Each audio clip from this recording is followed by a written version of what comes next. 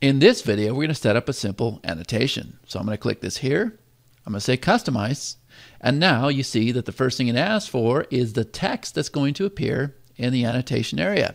So I'm going to go ahead and copy this text here. I'm going to paste this in here. Since this is a Chinese video, my text is discover my new book on Amazon, Chinese culture.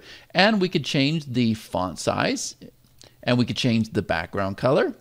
We can also put in a target URL that they will go to when they click this link.